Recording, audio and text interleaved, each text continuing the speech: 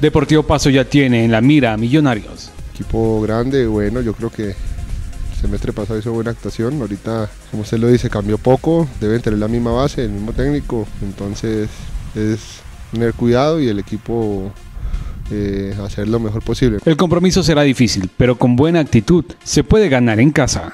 Sí, lo que, lo que tanto estamos esperando que, que iniciar el torneo para, para así hacer historia con el Deportivo Pato, ya esa, esa imagen que dejaron los, lugar anterior en el primer semestre ya borrarle, ya que, que la gente se olvide de eso y, y, piensen en el pato del segundo semestre. Los profesionales comprenden que se necesita tiempo para engranar un trabajo. El ritmo de competencia ya es cuando ya estás en la liga, ya vamos el día domingo que enfrentas a Millonarios.